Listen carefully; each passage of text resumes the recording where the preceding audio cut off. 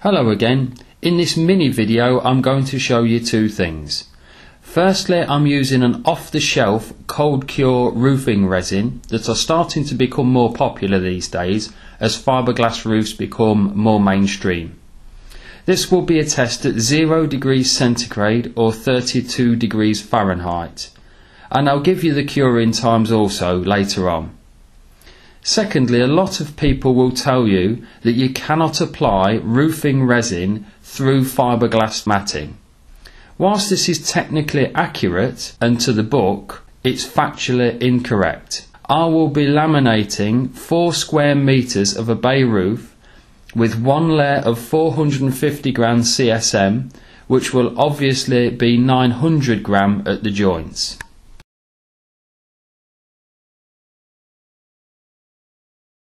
To do this effectively, technique is everything. If you are considering trying this yourself, start on a small scale and keep in mind I've been fiberglassing for many years now so I tend to make it look easier, a bit like a plasterer does when they plaster a wall. Having said that, don't let it put you off, it really is quite easy when you get the knack. Also, if you are interested in making your own cold cure resin, visit my website fixmyroof.co.uk for full instructions on how to make your own cold cure resin.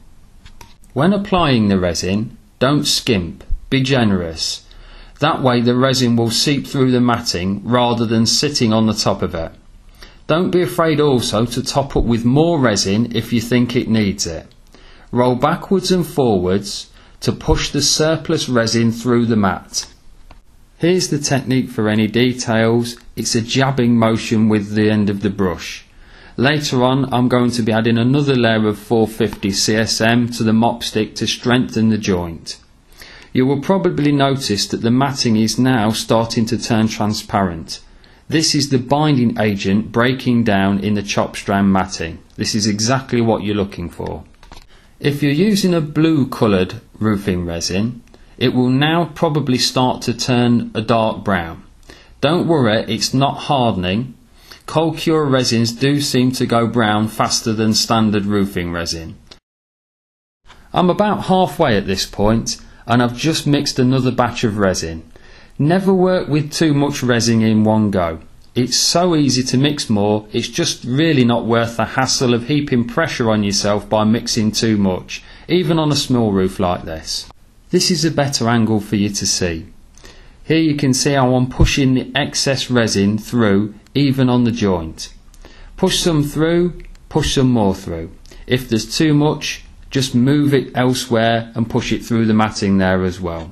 It's a matter of working the resin through to the underside of the mat onto the decking and then consolidating it on top.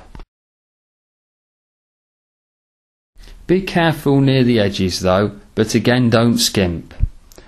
Have a small consolidation roller on hand. This is if you see any bubbles and to roll your joints or overlaps. This will consolidate them down and make sure they're perfect. I can highly recommend a fin roller as described on my website.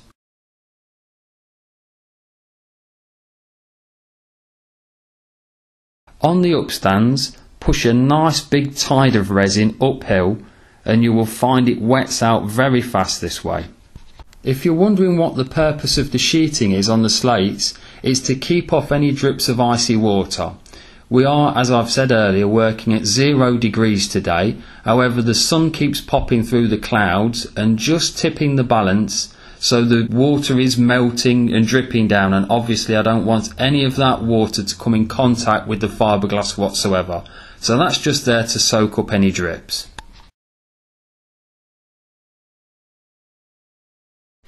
Here's a close-up of the resin. You can see the CSM binder breaking down in this one. It's the whitish patch in the middle. This is the even bubble-free look that you require. The joints have been consolidated at this point. As you can tell, it's down very very well. Well that's it, another roof done here.